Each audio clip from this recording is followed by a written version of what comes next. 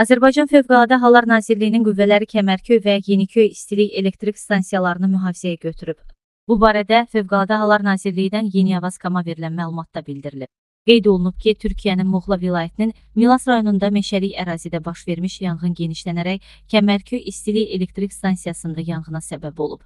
Bununla əlaqədar Azərbaycan Respublikası Fövqəladə Hallar Nazirliyinin Türkiyədə olan yanğın xilas etmə qüvvələri yerli qüvvələrlə birlikdə EIS-də baş verən yanğını bu gün səhər saatlarında söndürməyə müvəffəq olub. Bununla da yanğının yaxınlıqda yerləşən Yeniköy istilik elektrik stansiyasına keçməsinin qarşısı alınıb.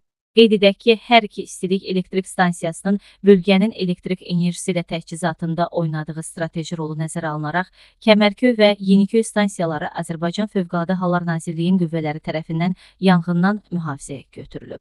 Bununla əlaqədar Fövqəladə Hallar Nazirliyinin Türkiyədəki qüvvələrinə rəhbərlik edən nazir müavini general-leytenant Etibar Mirzəyev stansiyaların yanğına qarşı etibarlı mühafizəsinin təşkili məqsədi ilə yerli məsul vəzifəli şəxslərlə görüşərək göstərilən istiqamətdə fikir mübadiləsi aparıb.